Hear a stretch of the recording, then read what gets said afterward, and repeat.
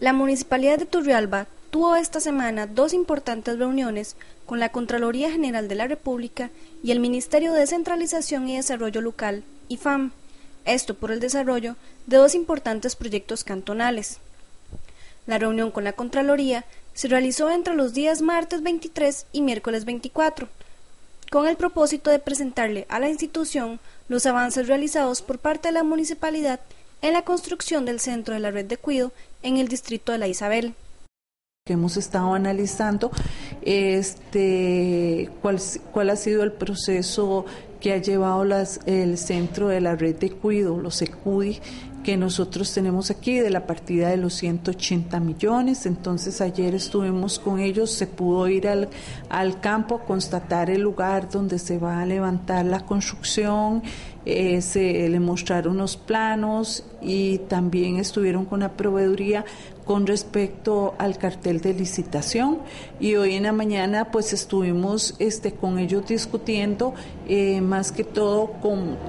todo lo que hemos ido avanzando en la parte de operatividad de, de lo que va a ser la red de cuidado, el reglamento que debe tener, quiénes van a cuidar, cómo lo van a cuidar, si ya el IMAS y FODESAM nos dio la capacitación y nos ha dado en realidad tres capacitaciones ya de la parte operativa de, de lo que va a ser el SECUDE en el distrito La Isabel.